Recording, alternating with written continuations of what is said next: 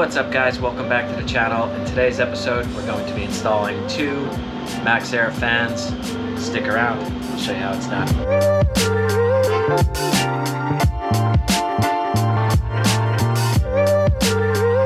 Before we start cutting holes in the roof, the first thing I like to do when installing the Maxxair fans is to wash the whole exterior of the van. It's important to have a nice clean surface when we glue down the flange for the fan. So before I get started, I'm gonna clean the whole van. The size of the bed here really doesn't make too much of a difference. We're just making this hole so we know where the center point is up there on the top.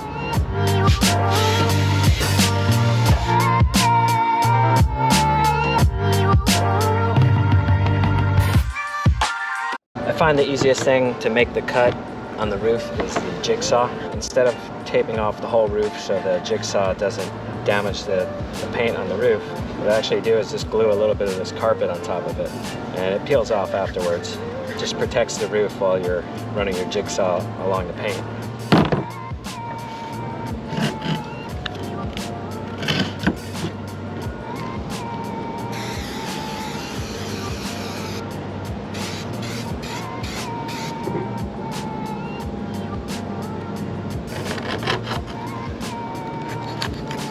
You can see nice and soft here now. I'm gonna run this over the roof. It won't damage the paint. This will peel off later too. But I'll let that dry for a little bit while I'm uh, marking off the roof. It helps if you've already installed the ladder when you're doing this job. If you haven't seen that video, I'll put a link for that video in the description down below. Also helps to have one of these for your knees.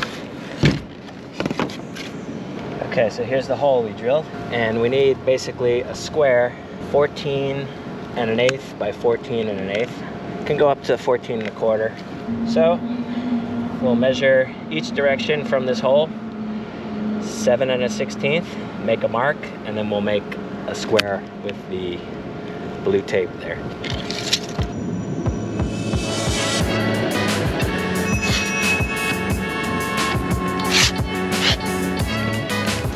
Check your measurements. So these are the metal cutting blades I use for the jigsaw and uh, you definitely want to use brand new blades for this. Don't try and use an old blade. So I'll put a link for these in the description below. These are uh, made for this purpose. Now we're all set up. Next thing I need to do is just drill a hole big enough for my jigsaw blade to fit through in one of the corners. Or we can do all four corners.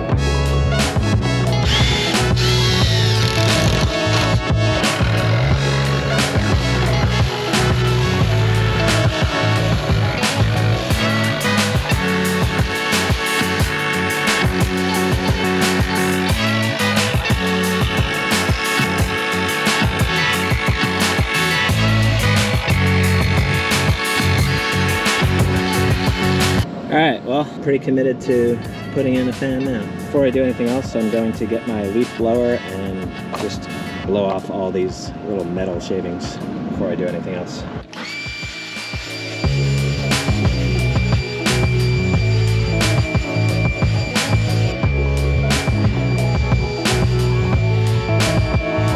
Now I'm just going to repeat the same process again for the front and uh, we'll measure the center between these two beams here and we'll a hole and we'll transfer that up top. This time just to save myself a little trouble with the metal shavings I'm gonna tape up this plastic over the hole. Before you get too far along you can take the um, flange and just test fit it, make sure it fits.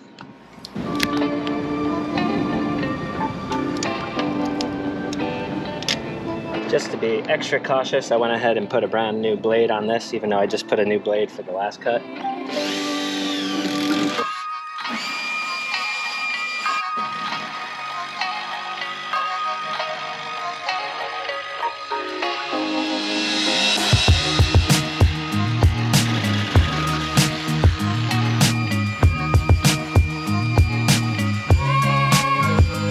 Next, we're gonna cut, cut a few pieces of the one by threes so we have something to screw into to back this up.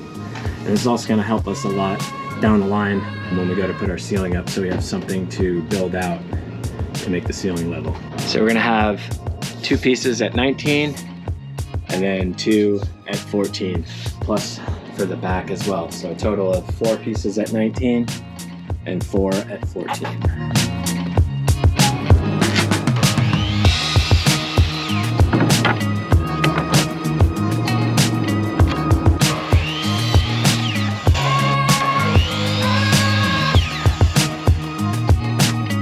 You can avoid using these knots, it's a good idea. I've got one thing at Home Depot, the butyl tape. So I'm gonna make a quick trip. Okay, so this is the stuff I forgot, the butyl tape. I'll put a link in the description for that. Buy it on Amazon so you don't forget like I did.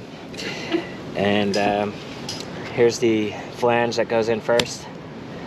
And you can see the screws. There's two screws on each side. Make sure you put it in with the screws on the side, not front to back. So it goes in like this. Before it goes in, flip it upside down, put the butyl tape over it. So that's all you're looking for, single layer. On the front here is easy because it's a nice flat surface if you put the fan right here. In the back we're gonna need to do something a little different. I'll show you that later. Screws on the outside, place.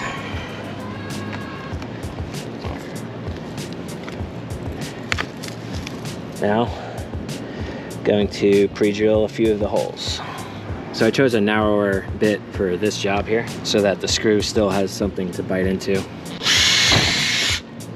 All right, so as I was saying before my battery died on the GoPro, I've got four of these screws with the white paint. Put those aside. Those are for the inside when you're done with the finished ceiling. We've got uh, 16 of these long stainless ones. Those are the ones we're going to use right now. And then four of these, which are going to go connect the fan to the flange afterwards. Four of these, like shorter, thicker ones. Set those aside as well. Got all the holes pre-drilled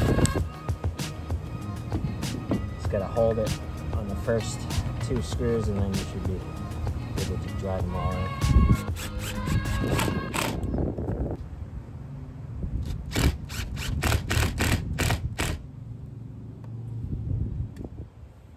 I think what we'll do is like a kind of star pattern driving these in.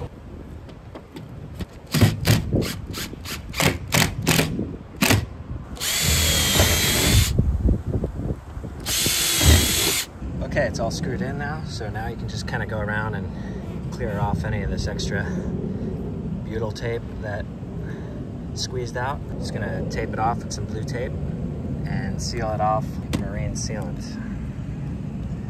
I'll put a link for this as well. You can also use a lap sealant for this, but honestly, I'd recommend the marine sealant because the lap sealant just makes a mess. It's self-leveling, so it just kind of drips all over the place whereas the marine sealant, it's a little bit thicker and if you put gloves on, you can kind of put it exactly where you want it with your finger. And uh, in addition with the, the uh, blue tape, I used to use the lap sealant, but I think the marine sealant's better now.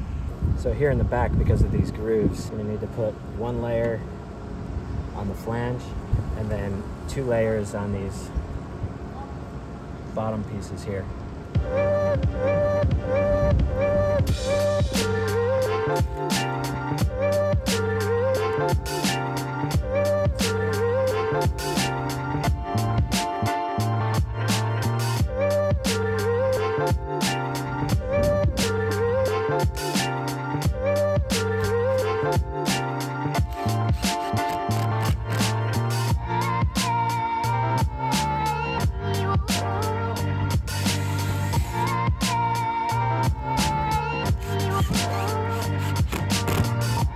Once I get all the screws in, I'm gonna come back with a little extra of the butyl tape and stuff it in these gaps here, if there are any. So it's kind of like a two-part seal. The butyl tape is sealing it a little bit, and then the marine sealant over the top will 100% seal it. Okay, finally everything's taped off. Now I can seal it off with the marine sealant. I'll do uh, both the front and the back at the same time.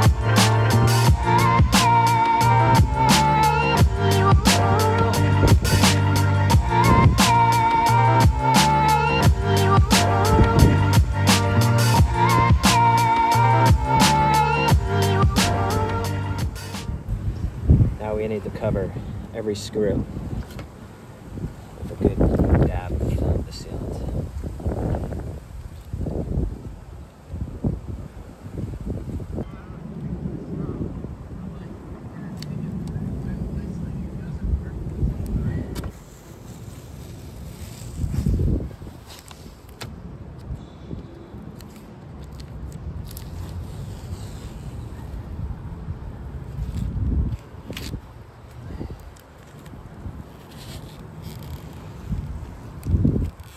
Too bad.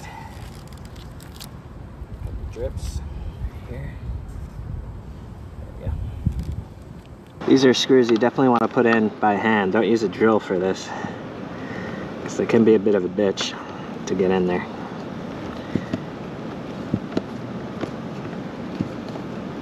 I'm not going to tighten that one all the way down until I get the other three in. So you have to kind of start it at an angle like that sometimes to get it in there and then it it kind of sucks the fan down and it'll straighten out.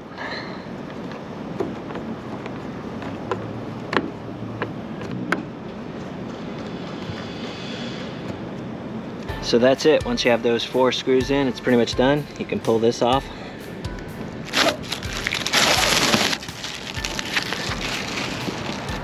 And it's finished. Same with that one. Okay, so you're just gonna be left with these two flanges, which you're just gonna have to save until you finish your ceiling. Then these get cut down the size and screwed in like that. And also two remotes, and then the four screws that are gonna go in here that are painted white. So those will just have to save until you finish the ceiling. That's pretty much it for this episode. Thanks for watching. Uh, let me know if you have any questions in the comments. I'm always happy to answer them. There's a lot more to come, so make sure you hit that like and subscribe button. Thanks a lot. Bye.